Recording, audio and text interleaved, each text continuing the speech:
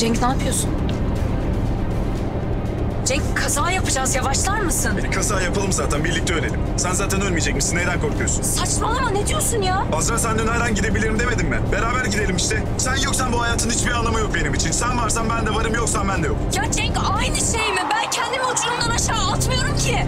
Hasta olmayı ben seçmedim. Bu benim tercihim değil. Azra mücadele etmeyi, pes etmemeyi sen seçebilirsin ama. Ya Cenk neyi değiştirecek ki bu? Azra her şeyi değiştirir, her şeyi.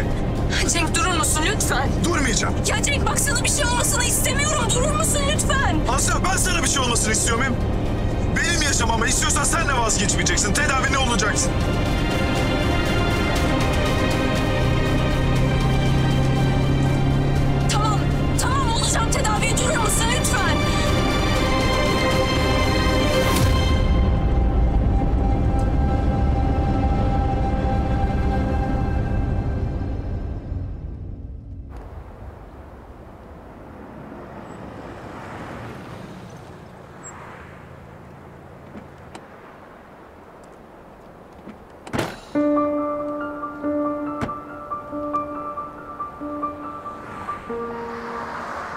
Azra.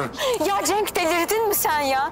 Ne yaptığını zannediyorsun? Kendi hayatını nasıl bu kadar keçe sayarsın? Azra bak senin tedavi olmamanın şu an yaptığım şeyden hiçbir farkı yok. Ya Cenk bak Azra ben bu hikayeyi seninle başladım seninle bitiririm.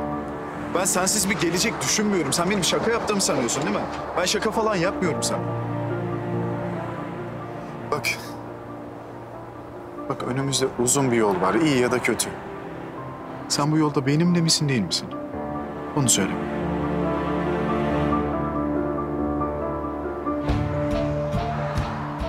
Tabii ki senin var.